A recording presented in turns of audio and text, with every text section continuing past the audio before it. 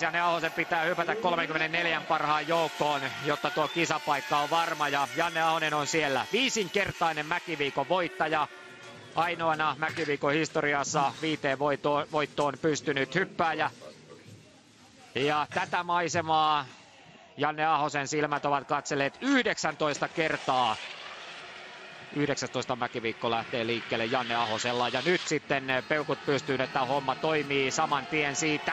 Kyllä se toimii. Se toimii sillä tavalla, että kisapaikka tulee hoidettua ihan varmasti tässä ja Ahonen hyppää myöskin isoilla plussilla 128 metriä. Joo, hyvä rane, ei siinä mitään, mitään ihmeellistä. Mun mielestä toi homma on tosi lähellä, että se rupeisi toimimaan oikeasti, oikeasti hyvin, ei, ei mitään, Edellinen harjoitushyppy erinomainen. Tässä ehkä vähän kiireemmällä tuo ponnistusvaihe. Muuten tekniikka toimii oikein kivasti. 128 metriä Jannemaisen tyyliin tosi, tosi kaunis hyppy ja tämähän nyt riittää kilpailuun. Se on itsestään selvä mies menee seitsemänneksi ja hankkii Hyvä. muuten hyvät lähtökohdat, kun ajatellaan edelleenkin sitä pari kilpailua. Kyllä, kyllä.